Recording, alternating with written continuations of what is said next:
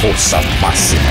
Um Estado com segurança total é mais investimento, proteção e ação. O Paraná fez a maior contratação da história na segurança. Nossas forças contam com novos equipamentos, reforçamos a inteligência e fizemos a maior compra de todos os tempos em armas e viaturas, além de aeronaves super equipadas de combate ao crime.